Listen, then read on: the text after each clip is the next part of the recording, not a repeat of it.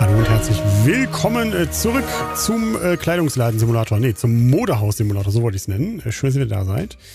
Ähm, ja, ich wollte mal gucken, ob wir vielleicht in dieser Folge mal unsere Einkaufstasche designen, sobald wir genug verdient haben. Sobald wir wieder aufräumen. Hätte ich ja immer was zu tun. Ähm. Mhm. Komme ich nicht dran von hier? So, dann das. Das, ja. So. Und so und so. Ich weiß gar nicht, was die alle mit diesen Hemden haben. Ich laufe mit diesen Hemden rum. Ja, also die Einkaufstasche äh, würde ich gerne designen. Hm. In dem schönen Garderol Rot.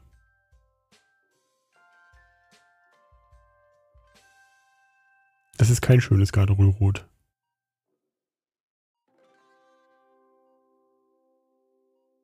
Das schon eher. So.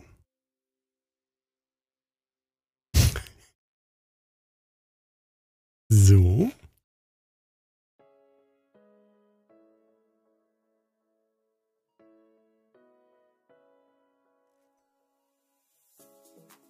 Das muss schon ein, ein, einheitlich sein, ne? Kannst du irgendwie drehen so ein bisschen? Dann machen wir einen kleinen Trick.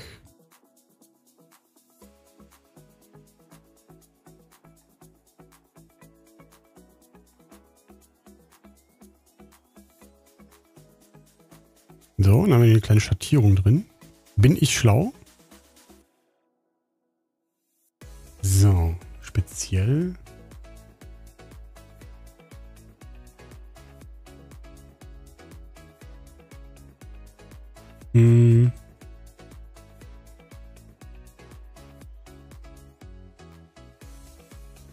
Ich nicht irgendwie hier... Das ist schon ein bisschen komisch.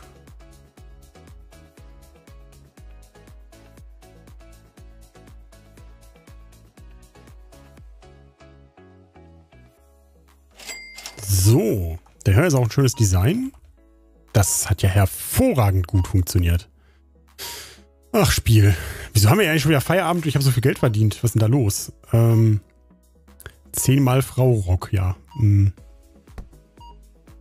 Sechs.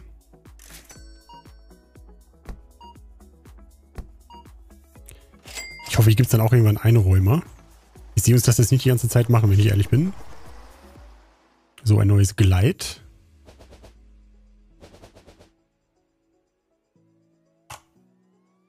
Weniger Kunden? Ne, Produkt nicht gefunden. Da haben wir nicht aufgepasst. So, dann hier ist schöne Dragon Shudder.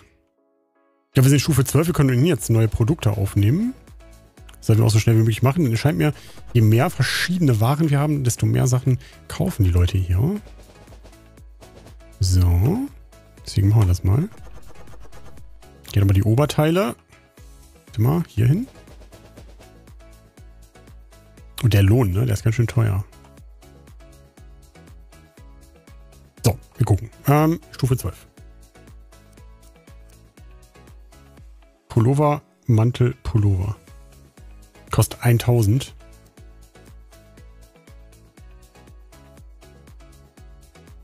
Ich hoffe, es rechnet sich dann auch.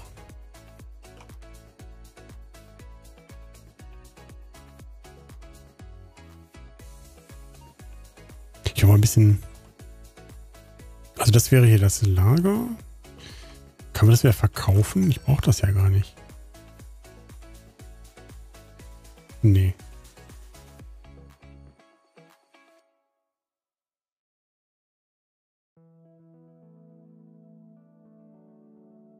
Ich nehme an, dass die, die erste Shop-Erweiterung möglicherweise nur diese Ecke hier ist. Das wäre auch ein bisschen blöd.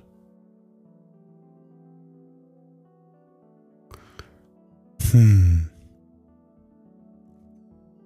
Sieht zumindest verdächtig, verdächtig danach aus, wenn du mich fragst. Oh, das Level of Detail ist aber auch anders wild. Äh, hier muss man... Achso, Entschuldigung.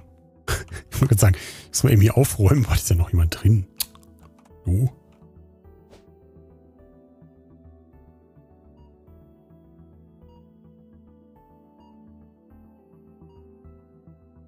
Äh.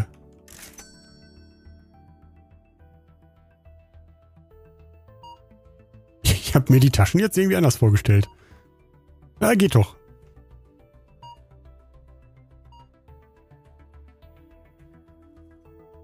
Hm. Ob wir dieses Hemd da jemals wieder wegkriegen werden? Jetzt ist nur das Problem, jetzt laufe ich hier rum und die Kassiererin kostet viel Geld, ne? Das ist eigentlich, ist es Quatsch.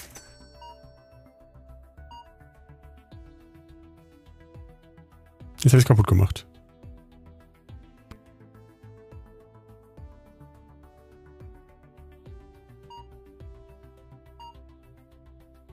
Glaube, wir können die nur irgendwie nachts entlassen. Ich hoffe, ich, ich, hoffe, wir zahlen die jetzt nicht zweimal.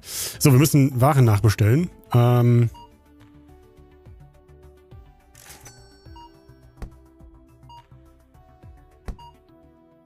diese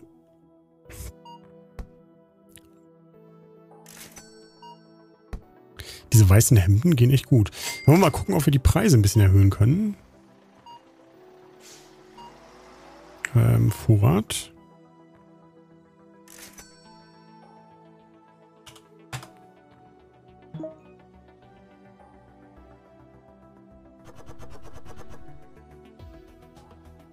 Ich habe jetzt nicht gesehen, irgendwie eine Beschwerde zu teuer, ne?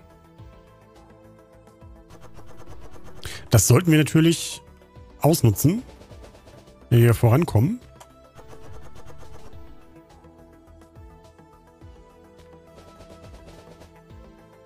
Sehr gut.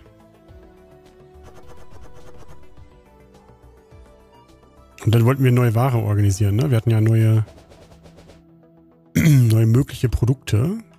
Sobald wir das Geld haben, ist ja schon wieder der Tag rum. Wir müssen mal gucken, was kostet die Kassiererin. Darf man das überhaupt noch? Ich bin immer so ängstlich, dass man das irgendwie aus, auf einmal, dass ich nicht mitbekommen habe, dass man das auf einmal nicht mehr sagen darf oder so.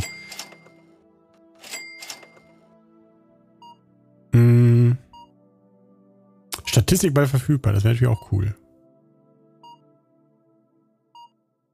Täglich 100. Okay. Was ist denn dann so teuer? Ich gerade ein bisschen irritiert. So, also wir bekommen Mann, Pullover, Mantel, Frau. Sie brauchen sechs Regale. Ein Geschäft machen. Aha. Na, der weiß ja jetzt Bescheid.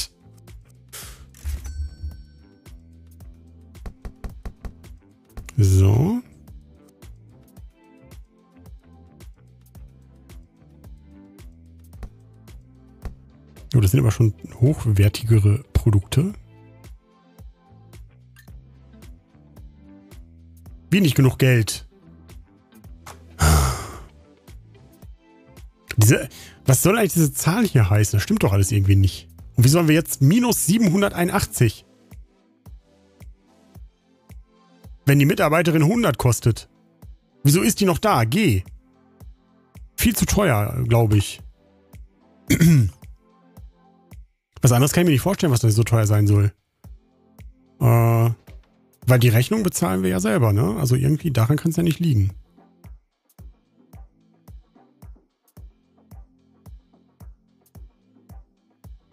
Wieso hat er das denn jetzt wieder gemacht? Jetzt hat er wieder die Ware rausgenommen und wir haben das Geld verloren.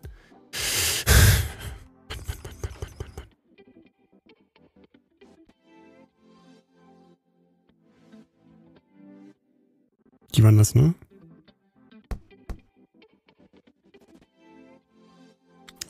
Ja, dann müssen wir mal eben kurz äh, warten, dass wir diese ganze Menge, die wir jetzt da oben stehen haben, wieder reinkriegen. Äh, Stufe 13, genau. Da können wir aber schon mal gucken, während die Kunden hier ihre Waren aussuchen, äh, was wir denn noch bekommen haben. Bei den Möbeln mh, hm, auch wieder neue Shelves. Ich glaube, die hier werden ganz cool. 1, 2, 3, 4, 5, das sind für 20, ne? Ich glaube, die sind ganz gut. Und für Schuhe 14 wäre das nächste. Und das hier weiß ich ja gar nicht, was das sein soll. Spezielles Design?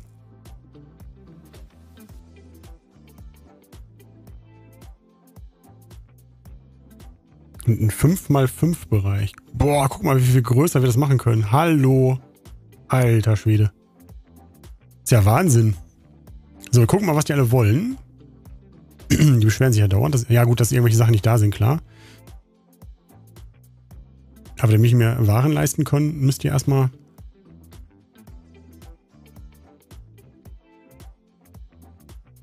ein bisschen was shoppen gehen. Dankeschön. Das Vista-Hemdmann ist zu teuer. War das doch ein bisschen viel, ne? War das äh, Vorrat?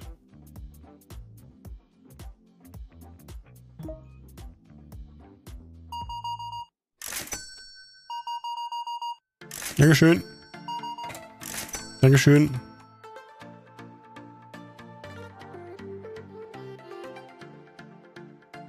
Tausendsechshundert brauchen wir.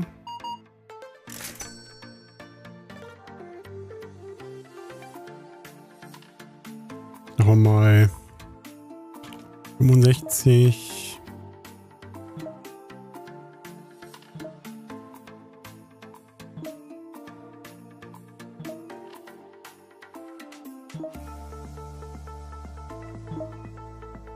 müssen ja auch was verdienen hier.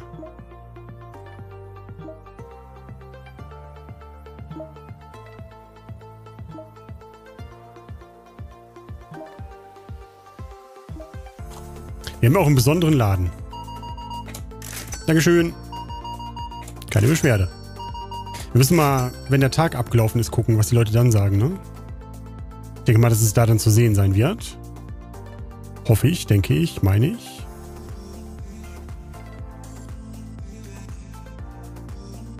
Können wir einfach von hier so ein paar Pflanzen nehmen und die dann in den Laden stellen? Nee. Schade. Hätte ja klappen können. Achso, ja, genau. Waren, die nicht verfügbar sind, können wir gar nicht nachkaufen, weil wir für irgendwas haben wir so viel Geld. Ich weiß nicht, was war denn da so teuer, dass wir am nächsten Tag auf einmal minus 700 haben, aber wir haben doch immer. Wir kriegen doch jeden Tag die Mietrechnung, die wir selber bezahlen. Da kann es eigentlich nicht liegen. I'm somewhat confused.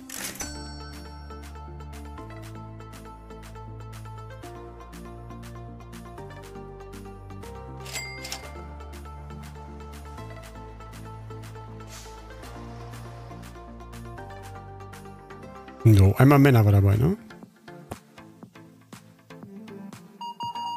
Dankeschön, Dankeschön, Dankeschön. War schon eins von den neuen Sachen?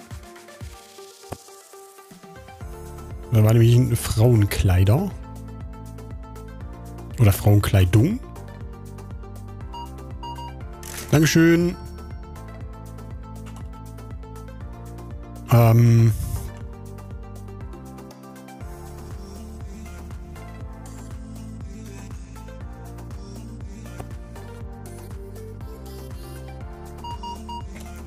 Brauchen gar keinen Verkäufer, wenn der so teuer ist. Ich nehme an, dass, das, dass der Verkäufer so teuer war.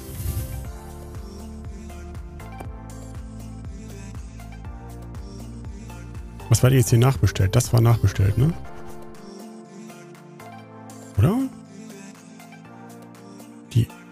Waren das die hier, ne? Ja. Schönen Tag.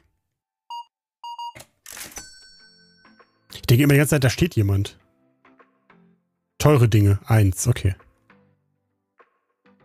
Boah, was ist denn das? Zeigt dafür irgendwas Zinsen, was, was mir nicht aufgefallen ist, oder?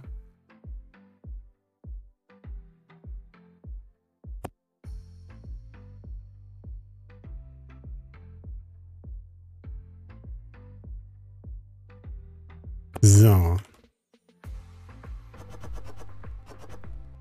So, die waren, glaube ich, neu, ne?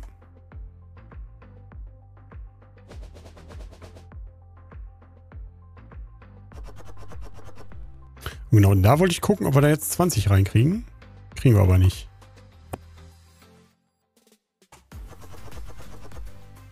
So, dann waren hier dieser schöne Rentierpulli für Herren.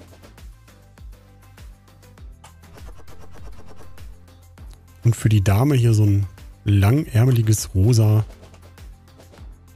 Es kommt auf die inneren Werte an, Kleid. Hm? Bitte? Ja, Stufe 14 haben wir da was bekommen. Schuhständer, Marken. Hier kommen die ersten Turnschuhe und Co. Souls 4. Aber für was bezahlen wir hier so viel?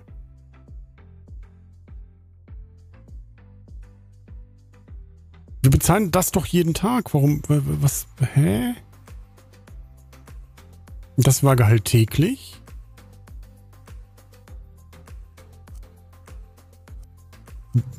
Ich bin da wirklich gerade ein bisschen irritiert, muss ich sagen. Wo das herkommt.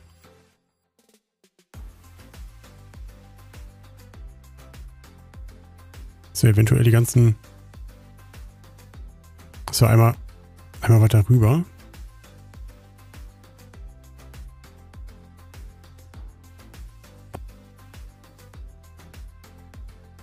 Ist auch nicht so geschickt. Habe überlegt, ob wir vielleicht mit dem mit dem Bestelltisch da hinten ins Lager reingehen können. Aber ich möchte es gerne so ein bisschen Übersicht haben, ne? Wenn wir hier gucken, oder in der Übersicht, wenn wir hier gucken, was wir brauchen, dann sehen wir das hier.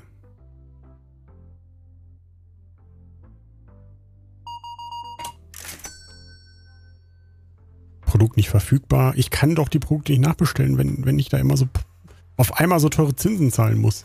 Für was auch immer.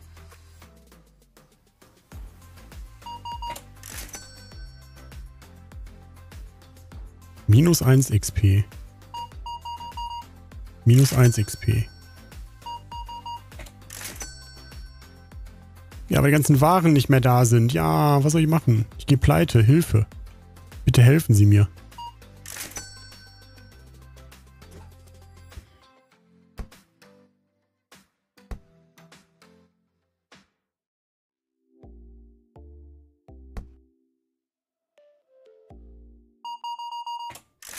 Das ist ein Teufelskreis, ne?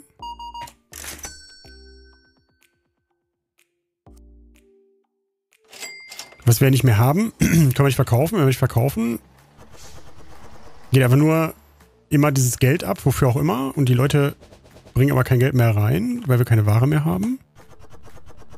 Wodurch das Geld immer weniger wird, wir aber keine Ware nachkaufen können und dann sind wir pleite. So ist das.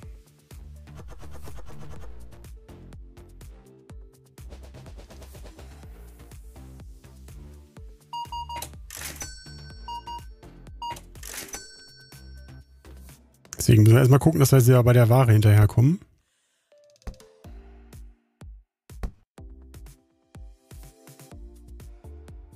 Hm.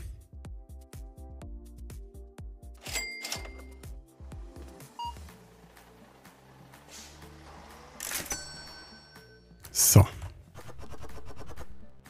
Das Dragonschörder. Dann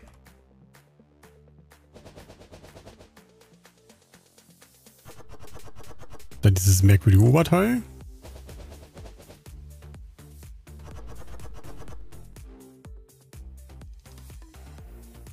War das die? Ja. Guten Tag, Dankeschön. Entschuldigung, dass wir gerade nur eine begrenzte Auswahl haben, aber sie kaufen einfach nicht genug. Sie sind schuld.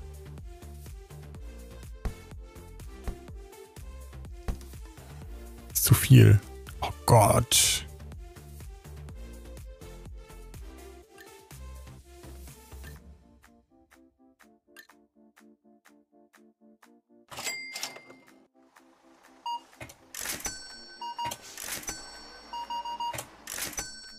Dann die Liefergebühr kommt natürlich auch noch oben drauf. So, jetzt ist der Tag vorum und jetzt haben wir nur 500. Am nächsten Tag werden wir noch weniger haben. Ich glaube, wir gehen wirklich pleite. Aber warum? Das ist, kann doch nur ein Spielfehler sein, oder? Er zieht uns irgendwas, zieht er uns hier ab.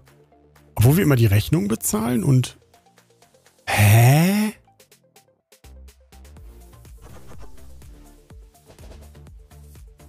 Ich verstehe es gerade wirklich nicht.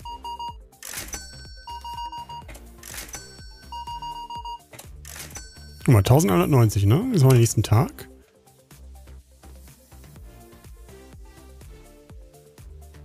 Versorgungskosten. Mieten. Wieso auf ein...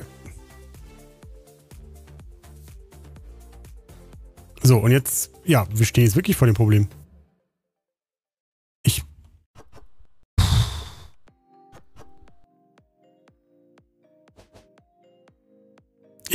Äh, ja, ich weiß jetzt gerade wirklich nicht, was ich machen soll. Also, danke, äh, die Folge beenden, ja, und dann, äh, ja. Ich, ich glaube, ich werde mal kurz ein bisschen weiterspielen und gucken, ob ich das irgendwie hinkriege. Und dann schauen wir mal. Weil ansonsten bin ich gerade etwas überfragt, wenn ich ehrlich bin. Bis zum nächsten Mal. Ciao.